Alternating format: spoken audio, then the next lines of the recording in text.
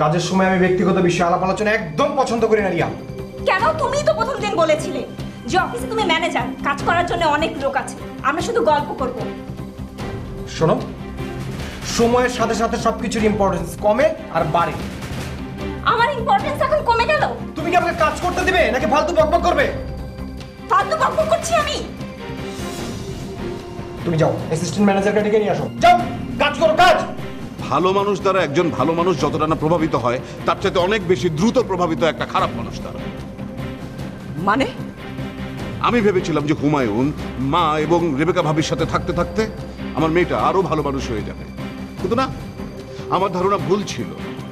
ও আপনার মতো হয়ে যাচ্ছে এই বাড়িতে থাকতে থাকতে আপনার প্রভাব পড়েছে ওর ওপর। সেই জন্য আমি ওকে নিয়ে যেতে এসেছি যাতে করে ও আপনার মতো লোভী আর স্বার্থপর হতে না পারে। কি আশ্চর্য! আমি তোর মা।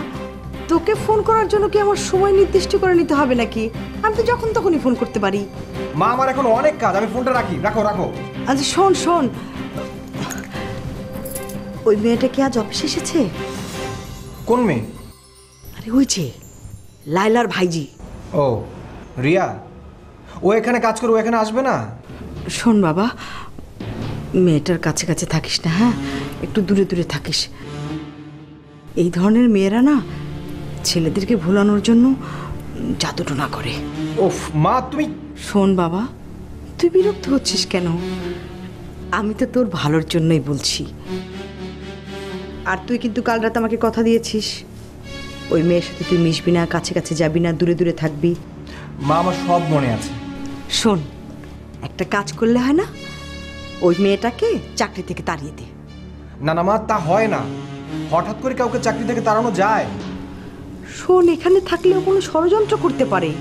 শোনো মা ওকে আমার থেকে দূরে রাখার জন্য ওকে আমি হেড অফিসে পাঠিয়ে দিয়েছি। সত্যি? সত্যি বলছিস? হ্যাঁ মা ও অলরেডি অর্ধেক রাস্তা পৌঁছে গেছে। বাহ এটা তো খুব বুদ্ধিমানের কাজ করেছিস তুই। আমি খুব খুশি হয়েছি তোর কাজে। এবার তুমি খুশি তো? হ্যাঁ হ্যাঁ আমি খুব খুশি হয়েছি। শোন হেড অফিসে দুই একদিন থাক তারপর একটা কারণ টারণ দেখিয়ে তাড়িয়ে দিস। আচ্ছা ঠিক আছে মা। তুমি এবার ফোনটা রাখো। আমাকে কাজ করতে দাও। আচ্ছা শোন না। আর একটা খবর আছে। ও আবার কি মা? আরে ওই যে আস্মিতার বাবা শওকত সাহেব আজকে এসেছিল বাড়িতে। আস্মিতাকে চর মেরেছে। নিয়ে যেতে চাইছিল। আমি যেতে দেইনি। খুব ভালো করেছ মা। আচ্ছা ঠিক আছে ফোনটা আমি রাখছি। তুই মন দিয়ে কাজ করিস হ্যাঁ? বাই। আচ্ছা ঠিক আছে।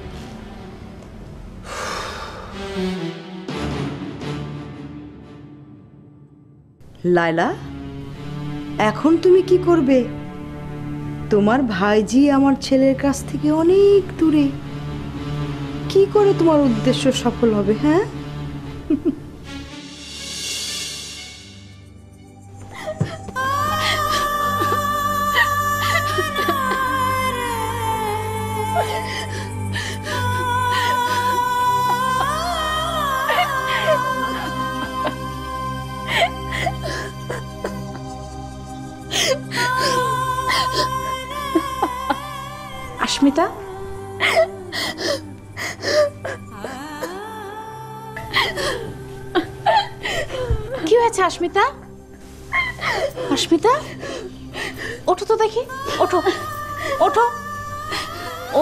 বলছি। কি হয়েছে? তুমি কাঁদছো কেন? ফুপি ফুপি আমার কিচ্ছু ভালো লাগছে না ফুপি। আমার কিচ্ছু ভালো লাগছে না। আচ্ছা এভাবে কান্নাকাটি করলেই কি খারাপ লাগাটা ভালোই পরিণত হয়ে যায়? বোকামে?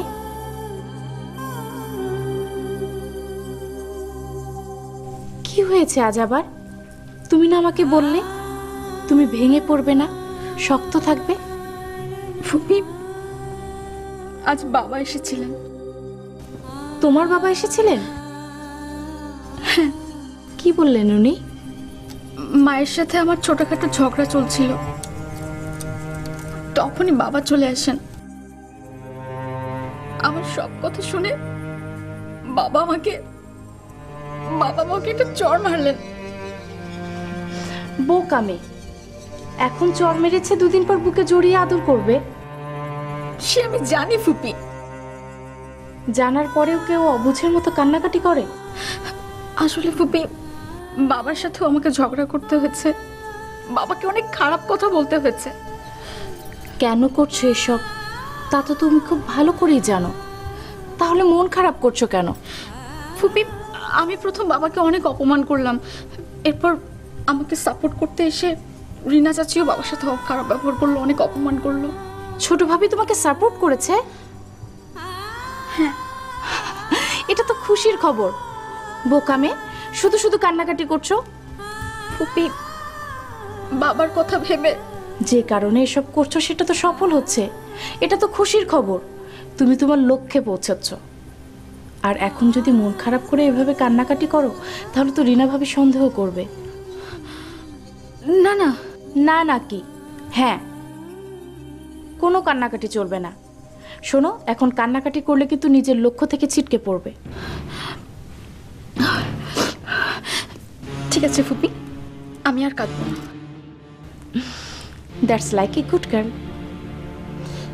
ফুপি বাবা কিন্তু সন্দেহ করতে শুরু করেছেন। ভাইজান? হ্যাঁ। সর্বনাশ। এখন কি হবে? ফুপি।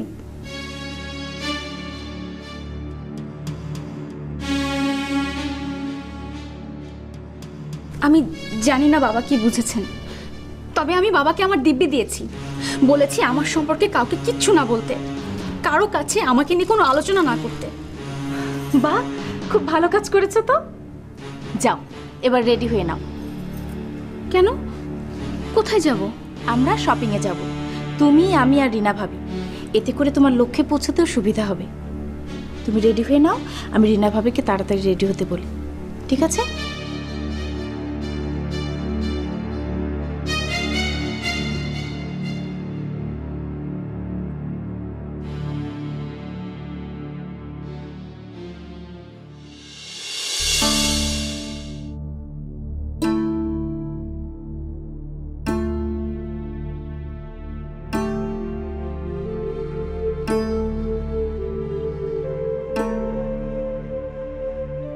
মনসুর সাহেবকে কোথায় পাবো? কোন দিকে ওনার ক্যাবিন রিসিপশনিস্ট তো বলল, এদিকে আসতে। কিন্তু আমি তো কাউকে দেখতে পাচ্ছি না।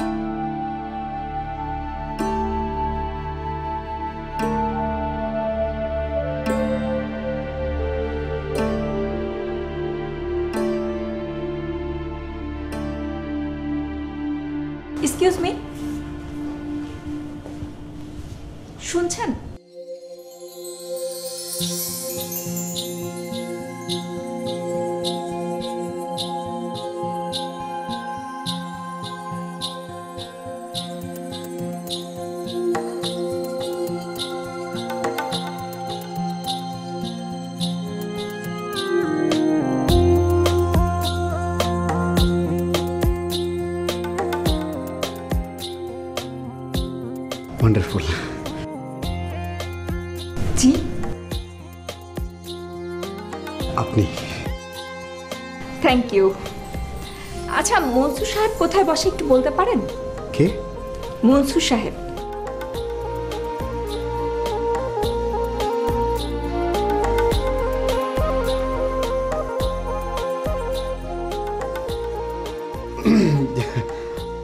আমি মনসুর সাহেব। ওয়ান্ডারফুল আজ দেখছি ফুল এসে ভ্রমরকে খুঁজছে। আমি তো কাব্যিক হয়ে উঠছি।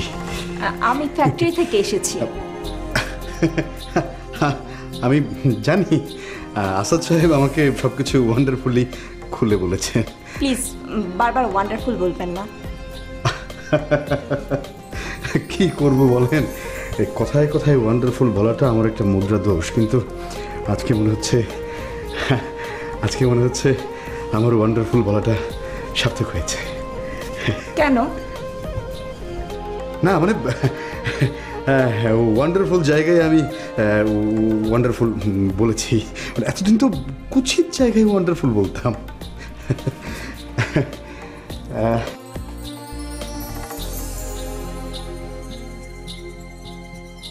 এখন থেকে আমি শুধুমাত্র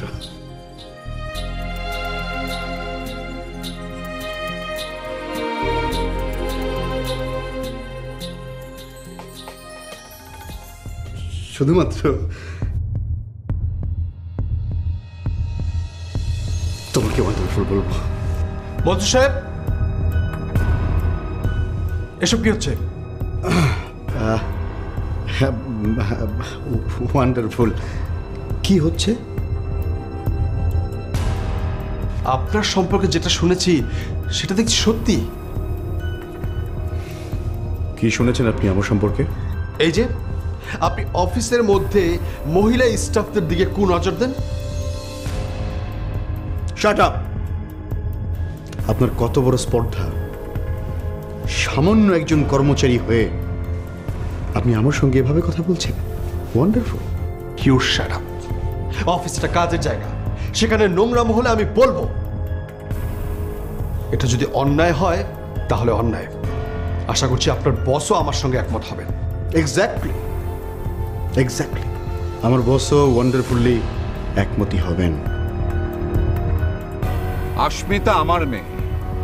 তাকে মারবো না আদর করব সেটা কি আমার আপনার কাছ থেকে অনুমতি নিয়ে করতে হবে? না। কিন্তু ভবিষ্যতে কোনোদিন যদি ওর গায়ে হাত তোলেন তাহলে আমার থেকে খারাপ কেউ হবেন।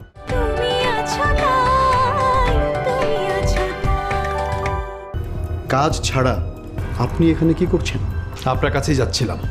এই ফাইলটা দেওয়ার জন্য। এই নিন। আমি কি করব?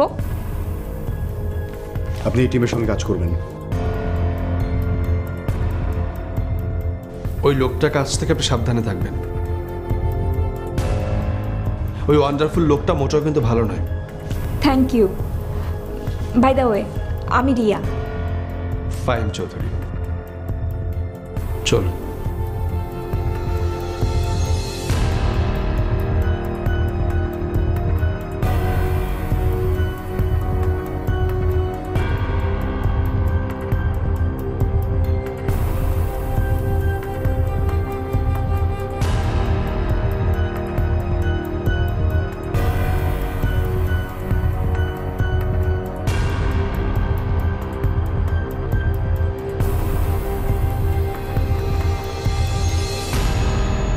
কটা বাজে? সরি একটু লেট হয়ে গেল। একটু দেরি। আসলে আমি ওই চৌধুরী ম্যানশনে গিয়েছিলাম তো তাই আসতে একটু দেরি হয়ে গেল। চৌধুরী ম্যানশন আপনি কোথায় যাবেন কি করবেন তাতে কোম্পানির? আপনার ব্যক্তিগত কাজের জন্য কোম্পানির কাজে ক্ষতি করবেন? সরি শুনুন আপনার বন্ধু বেআই তিনি এখন এই কোম্পানির মালিক নন।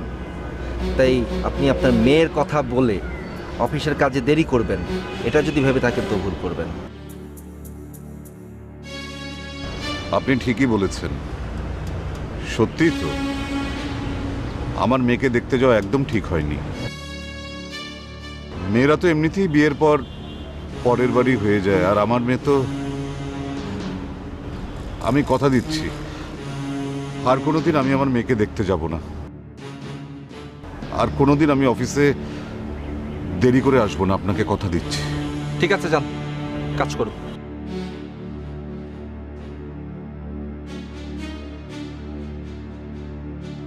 দাঁড়ান। Sir sir.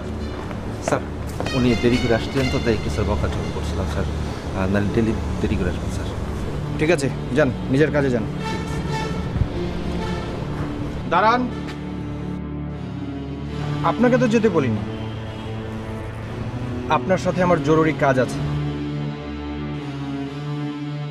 জরুরি কাজ? সেটা কি? আপনাকে বোঝানোর কাজ। আমাকে বোঝাবেন? কি? অফিসের কোনো কাজে ভুল করেছি? না না বিষয়টা ব্যক্তিগত। আমি যতটুকু জানি অফিসে ব্যক্তিগত বিষয় নিয়ে আলোচনা করা নিষেধ। আস্মিতা আমার মেয়ে। তাকে মারবো না আদর করব সেটা কি আমার আপনার কাছ থেকে অনুমতি নিয়ে করতে হবে? না। কিন্তু ভবিষ্যতে কোনোদিন যদি ওর গায়ে হাত তোলেন তাহলে আমার থেকে খারাপ কেউ হবেন।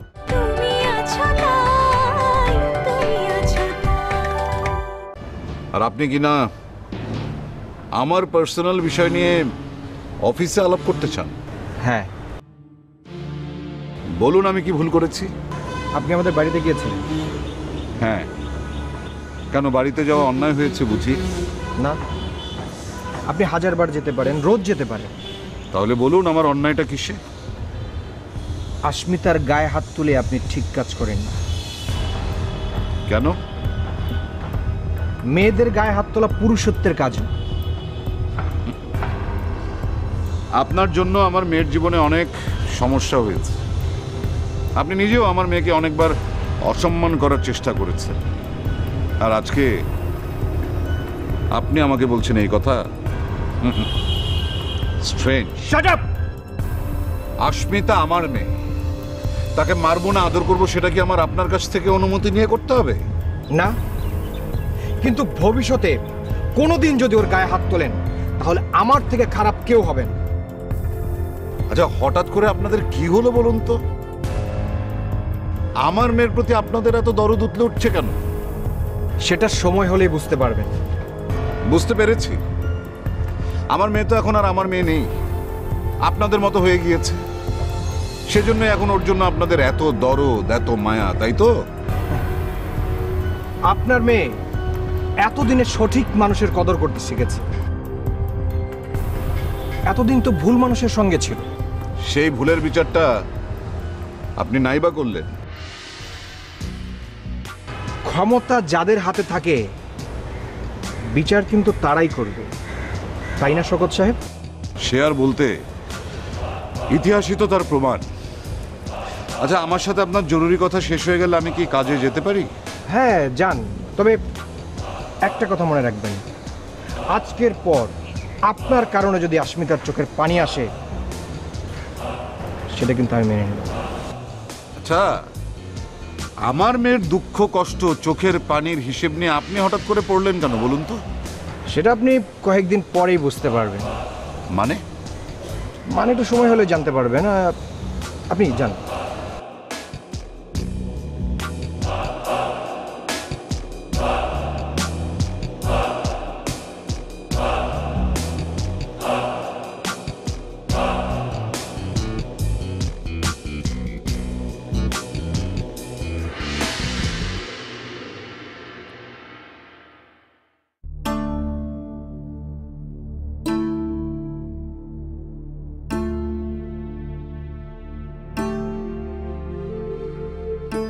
আচ্ছা শুনুন।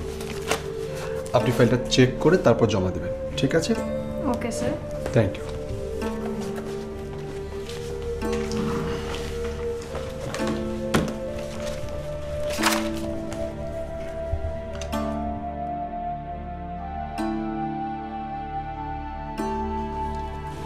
sir ফাইলটা ও দেখুন। স্যার আর কি কোনো কাজ বাকি আছে? হুম। আপনি ওই ড্রাফটটা রেডি করে ওয়ান্ডারফুলকে একবার দেখিয়ে নেবেন। কেমন? আবার ওই লোকটার কাছে যেতে হবে? হুম। উপায় নেই। আবার গায়ে হাত দেবে না তো? দিতেও পারে। আপনি যদি কিছু মনে না করেন আমার সাথে যাবেন? কোনো কাজের বাহানা নিয়ে?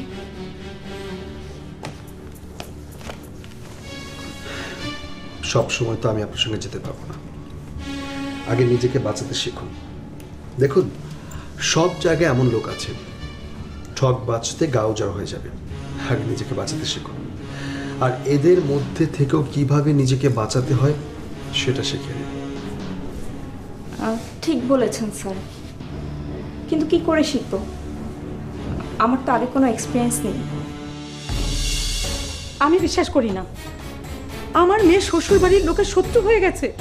এটা কি করে বিশ্বাস করা যায়? শিরির এই কথা যদি আমি অন্য কারও কাছে শুনতাম তাহলে আমিও বিশ্বাস করতাম না। কিন্তু আমি নিজেকে কি করে অবিশ্বাস করি? আমি নিজ- নিজের কানে শুনেছি নিজের চোখে দেখেছি আমার মেয়ে কি করে তার শ্বশুর বাড়ির লোক সম্পর্কে বাজে কথা বলছে। এরপর আমি কি করে অবিশ্বাস করব শিরির আমার মেয়ে হাসপিতে এভাবে বদলে গেল? এটা কি করে হয়? ও তোমাকে কি মানে কি বলেছে আমাকে বলো তো? সৌন্দর্য আর ভালো মানুষের কোয়ালিটি সবার মধ্যে থাকে না তো? আমিও আজ একটা হ্যান্ডসাম আর ভালো একটা মানুষের দেখা পেলাম। থ্যাঙ্কস আচ্ছা তুমি কি গেস্ট হাউসে উঠেছো? হ্যাঁ এইমাত্র পৌঁছলাম। গুড আর শোনো যদি কোনো সমস্যা হয় তাহলে অবশ্যই অবশ্যই আমাকে ফোন করবে ওকে আর কেউ যদি দরজা নক করে তাহলে সহজে দরজা খুলবে না। আগে পরিচয় জানবে তারপর দরজা খুলবে। কেমন?